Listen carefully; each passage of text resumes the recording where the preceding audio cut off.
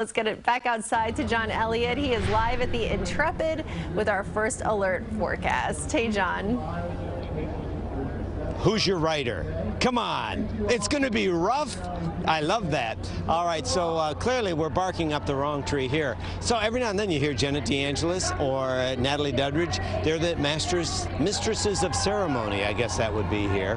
And we are got about 2,000 walkers here. The goal is about a million dollars for lupus research. Right after weather, I'm going to talk to uh, introduce you to a lupus advocate, someone who is uh, living with lupus and what it means to live with lupus with some of these new modalities and some of these new treatments that are available. All right, first off, let's get you outside and living in the sun. Man, it feels good. It feels so good.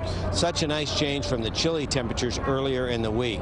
Here on the west side and in the city, in the heart of it all, very nice. Sunny skies and 54 right now. Light wind out of the east at 3 miles an hour. So we are going to see a gorgeous day today. It's already underway. Showers return tomorrow during the day and at night. And it's going to be milder next week. However, it is a little unsettled. These on again, off again showers. Today is really the pick of the next five, probably. Mid to upper 60s. 67 is above normal in the city, and we may even see a few readings close to 70 today. Definitely more of that next week. So this is it. For many, it's a peak color time right now as far as the fall foliage. You know, I mean, to really have a standout year, we're missing some of the elements because, and one of the big reasons is because of the drought conditions. What you need for a real vibrant palette is uh, wet growing season, no widespread drought during the summer season, and then warm sunny days and cool nights with no big wind events. We've kind of missed the mark. That's why we aren't going to see as much brilliant color, but now's the time to get out there and enjoy some of that color. One of the real realities we're dealing with is we still have drought conditions. Even though the darker browns have retreated, we still have some real serious deficits to talk about. We've had a wet October, but you look at the seasonal deficits for parts of Connecticut and parts of New Jersey, and even out on the island, over five inches to Bridgeport, minus 6.77 for a deficit. We're going to make up a little bit of that? Yes. Uh, not so much today, but tomorrow. In fact, that's what's going on with the composite radar and satellite. You annotate that with this active area low pressure that's riding up north, and that's why it's going to be wet Sunday night, and then it's on and off really through Wednesday. But I want to stress on and off.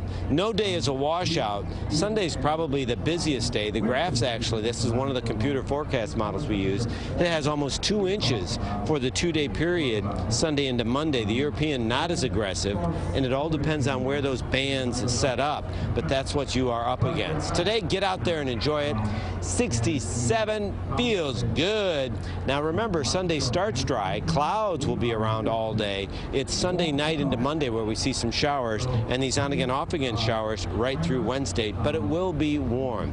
Again, here this morning, west side, 2,000, about 2,000. We'll get some exact stats in a bit for the Lupus Research Alliance raising money to help improve lives. Earlier this morning, I spoke with uh, Ruth Wilson, who is a lupus advocate, and asked her, what's it like living with lupus? I have good days and bad days, uh, is how I would explain it. But uh, thankfully, because of research, I get to have treatments that can help me uh, live a better life. What's a big misunderstanding or misconception people have about lupus? Um, I would say probably that everybody, it's like a one size fits all, and everybody's different. Everybody's lupus is different. All the treatments that we have out there might work for somebody, but might not work for another person. Frustration comes also when uh, you're trying to get diagnosed.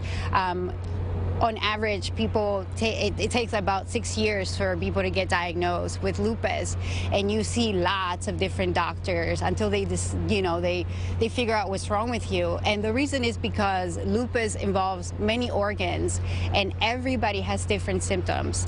So it's really difficult to uh, diagnose uh, the disease. You have to take care of yourself. We, uh, we lupus warriors, we take really good care of ourselves. Uh, you know, stay away from the sun, take your medications, eat healthy, uh, you know, stay away from gluten, dairy. Um, you know, so people always ask me, like, what do you even eat, right? uh, but you, you, you find ways and you get used to eating gluten free, you know. But that's just how it is. And you get you know to learn about the disease and educate others. So uh, that's really good for the lupus community.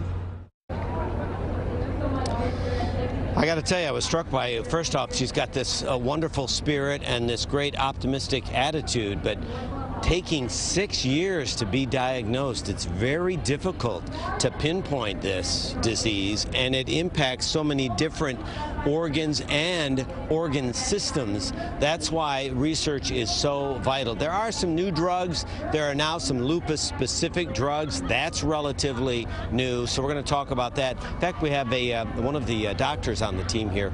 Try, try to uh, get him off the stage in our next half hour and talk to our colleagues from Channel 2 too. Right now, though, on the uh, beautiful, sun-kissed west side, we'll send things right back to you, right up the street in the studio. Andrea? Yes, I was shocked by that too. Six years. I, I can't even imagine the relief once you're finally Yeah. diagnosed with it. Mm-hmm. John, thank you.